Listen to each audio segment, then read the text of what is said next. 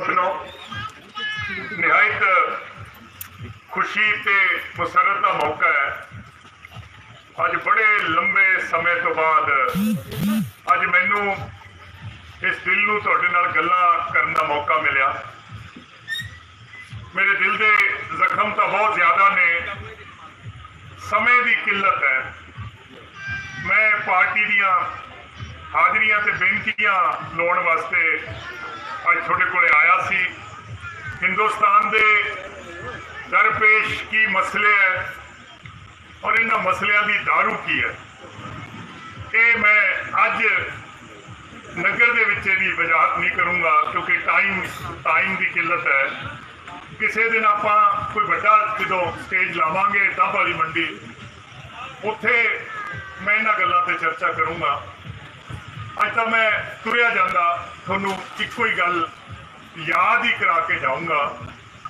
ਪਤਾ ਤਾਂ ਤੁਹਾਨੂੰ ਸ਼ਾਇਦ ਹੋਊਗਾ ਪਰ ਯਾਦ ਇਸ ਕਰਕੇ ਕਰਾਉਣਾ ਹੈ ਕਿਉਂਕਿ ਕਈ ਵਾਰੀ ਮੈਨੂੰ ਲੋਕ ਪੁੱਛਦੇ ਆ ਬੇਟਾ ਥੋੜੇ ਸਾਈਡ ਤੇ ਕਰ ਮੇਰੇ ਮੇਰੇ ਨਾ ਤੁਸੀਂ ਸਾਈਡ ਤੋਂ ਇਹੀ ਫੋਟੋ ਸਾਈਡ ਤੋਂ ਲੈ ਲਓ ਤਾਂ ਕਿ ਮੈਂ ਲੋਕਾਂ ਨਾਲ ਇਧਰ ਸਾਈਡ ਐਂਗਲ ਕੋਈ ਕੋਈ ਸ਼ਾਇਦ ਸਾਈਡ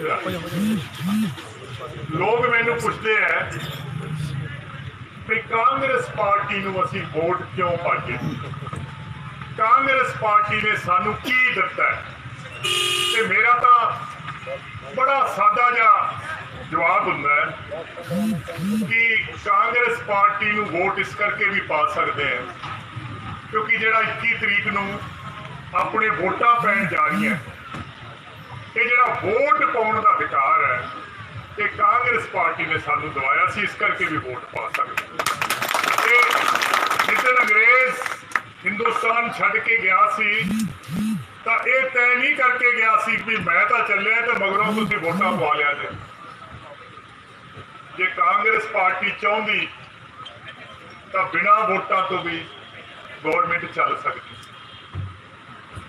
ਰਾਜਿਆਂ ਦੇ ਰਾਜ ਵੀ ਹੁੰਦੇ ਆ, ਫੌਜ ਦਾ ਰਾਜ ਵੀ ਹੁੰਦਾ ਹੈ, ਇੱਕ ਪਾਰਟੀਆਂ ਦਾ ਵੀ ਰਾਜ ਹੁੰਦਾ ਤੇ ਅੱਜ ਜੇ ਹਿੰਦੁਸਤਾਨ ਦੇ ਵਿੱਚ ਔਰ ਹਰਿਆਣੇ ਦੇ ਵਿੱਚ ਗਰੀਬ ਤੋਂ ਗਰੀਬ ਬੰਦਾ ਜੇ ਪਿੰਡ ਦਾ ਸਰਪੰਚ ਬਣ ਸਕਦਾ ਜੇ ਗਰੀਬ ਤੋਂ ਗਰੀਬ ਬੰਦਾ ਮਿਊਨਿਸਪਲ ਕਮੇਟੀ ਦਾ ਪ੍ਰਧਾਨ ਬਣ ਸਕਦਾ ਜੇ ਗਰੀਬ ਤੋਂ ਗਰੀਬ ਬੰਦਾ ਐਮਐਲਏ ਬਣ ਸਕਦਾ ਜੇ ਗਰੀਬ ਤੋਂ ਗਰੀਬ ਬੰਦਾ ਐਮਪੀ ਬਣ ਸਕਦਾ ਤਾਂ ਇਹ ਕਾਂਗਰਸ ਪਾਰਟੀ ਦੀ ਦੇਣ ਹੈ ਆਪਾਂ ਇਸ ਕਰਕੇ ਵੀ ਵੋਟ ਪਾਉਂਦੇ ਮੈਂ ਤੁਹਾਡੇ ਪਿੰਡ ਪਿਛਲੀ ਜਦੋਂ ਸੀ ਇੱਥੇ ਜਲਸਾ ਗਾਹ ਤੇ, ਤਾਂ ਮੈਂ ਦੇਖਿਆ ਵੀ 7-8 ਪੱਥਰ ਇਕੱਠੇ ਹੀ ਲੱਗੇ।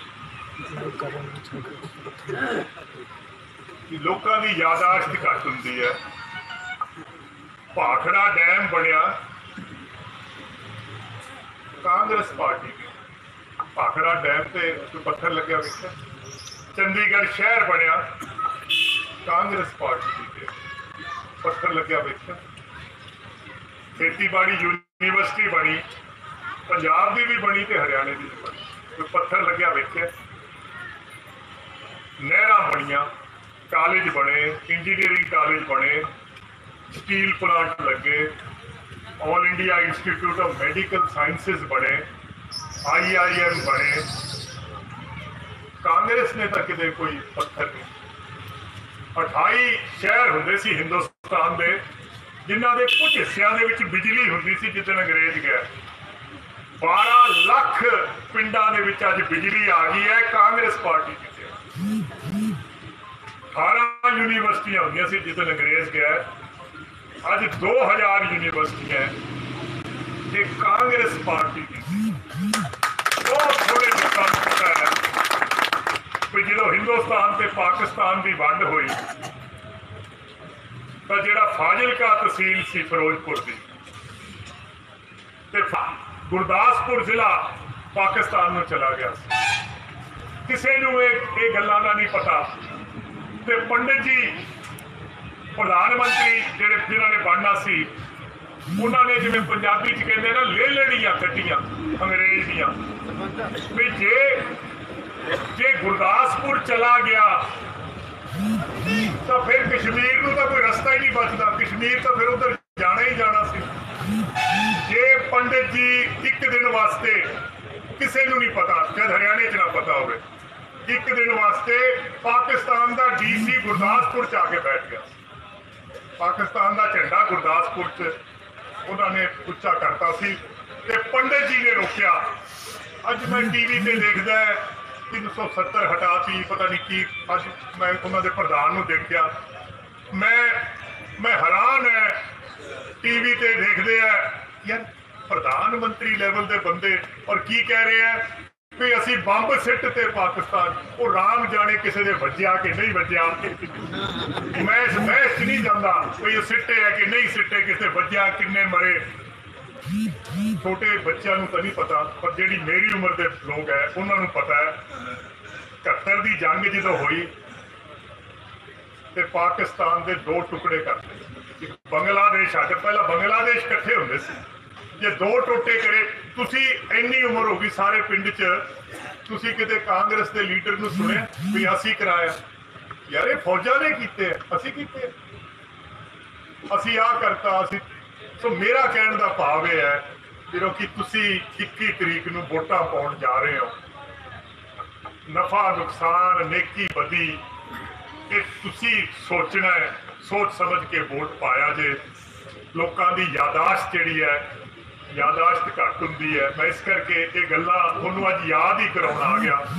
ਕੋਈ ਬਹੁਤੀਆਂ ਲੰਮੀਆਂ ਚੌੜੀਆਂ, ਮੈਂ ਦਲੀਲਾਂ ਪੇਸ਼ ਕਰਨ ਨਹੀਂ ਆਇਆ। ਜਿਹੜੀ ਬੀਜੇਪੀ ਦੀ ਜੋ ਤਰਜ਼ ਹਕੂਮਤ ਹੈ, ਜਿਹੜਾ ਉਹਨਾਂ ਦਾ ਬਿਆਨੀ ਹੈ, ਉਹਨਾਂ ਦਾ ਜਿਹੜਾ ਜਿਹੜਾ ਉਹਨਾਂ ਦੀ ਰਾਜਨੀਤੀ ਹੈ, ਉਹ ਰਾਜਨੀਤੀ ਕੀ ਹੈ?